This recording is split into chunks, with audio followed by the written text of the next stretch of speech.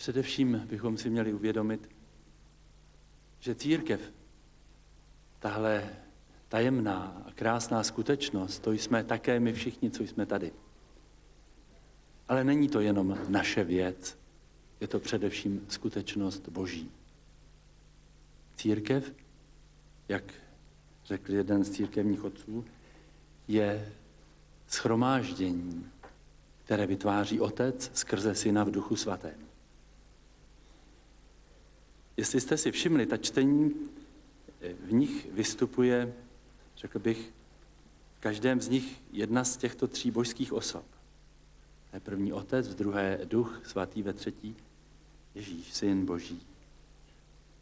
Otec tady dává nové srdce. To je to, co bychom si měli tady odtud odnést. Proto jsme tady abychom změnili svá srdce. Aby změkla, aby nebyla tvrdá. Abychom je očistili, aby byla krásná a průzračná. To není jenom naše dílo, to je, to je dílo Boží. To je dílo Ducha Svatého. Ale nelze to bez nás. My musíme chtít.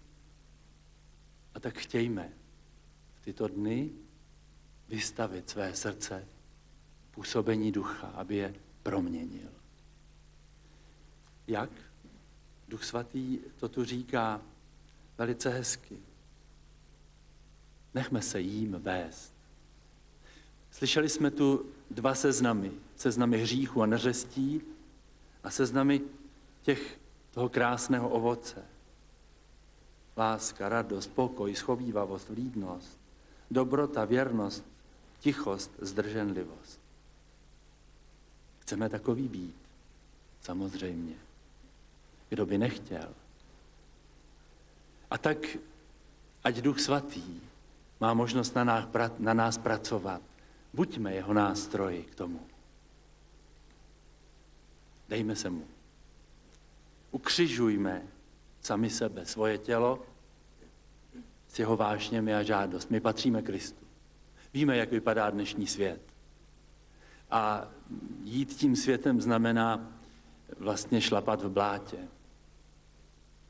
Šlapat v bahně. Ale to ještě neznamená se v něm válet, vidíte. To nechceme. Chceme jít proti proudu. I uprostřed tohoto světa s čistým srdcem. Díky Duchu Svatému. A to třetí, to evangelium je o službě. O Ježíšově službě lásky, který dává těm, které miloval, svou lásku až do krajnosti, až na kříž. A říká k tomu takovou provokační, provokativní slovo. Chápete, co jsem vám udělal, když jim posloužil tak, jako otroci sloužili, umyli jim nohy, To bylo znamení toho, co udělal potom ještě daleko víc, kdy dal celý svůj život. Vydal svou krev za nás. A říká, vy mě nazýváte mistrem a pánem, to skutečně jsem. Jestliže jsem vám tedy umyl nohy, já, pán a mistr, máte také vy jeden druhému umývat nohy. Dal jsem vám příklad. Jak jsem já udělal vám, tak máte dělat i vy. Láska to není jenom nějaký abstraktní cit, jak říkal otec arcibiskup, to je čin. Sloužící, obětující se. Rukama, hlavou, nohama, celým tělem. Dát život jeden za druhého. Možná, že bude Bůh po někom z nás požadovat, abychom dali život za druhého. Opravdu fyzicky a zemřeli za něho ale to dávat život, to můžeme každý den. Matka, která slouží svým dětem, své rodině, manželovi, dává život každý den. Manžel, který jde a stará se a vydělává peníze, aby rodina měla z čeho žít, dává život každý den. Učitel ve škole dává život. A takhle bychom mohli jít každé povolání, které děláme poctivě a dobře, dáváme život. I vojáci dávají život. Každý. Lékaři, zdravotní sestry, všichni. Když děláme poctivě to, co děláme jako službu těm druhým. Snažme se žít svůj život jako službu druhým, jako službu těm nejbližším i vzdáleným celému společenství. Takže ať to naše srdce, proměněné Duchem Svatým, z nás vytvoří lidi, kteří slouží, tak jako Ježíš. A pak budeme silným kvasem tomuto světu.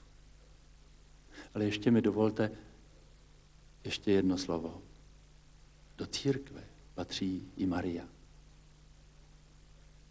A dokonce, řekl bych, mimořádným způsobem. Ona dala světu Krista. Ona je jeho matka, ale také jeho nejpřednější učednice. My jsme tu na místě, které je jí zasvěcené. A Maria je také nejenom naše matka, ale také náš vzor k následování. V té věrnosti, v té pohotovosti, jaké se vydala k tomu, aby naplnila záměr, který Bůh s ním má a měl. V té věrnosti, s jakou stojí pod křížem svého syna. A znáší jistě nepředstavitelnou bolest. V té věrnosti a lásce, s jakou potom doprovází tu mladou církev. A i dnes pečuje o sestry a bratry svého syna. Svěřme se jí a prosme jí, abychom jí dokázali být aspoň trochu podobní. Abychom aspoň trochu dokázali napodobit tu její velikost, ve které říkala věrně své ano Bohu celým svým životem. Když se nám to aspoň trochu podaří.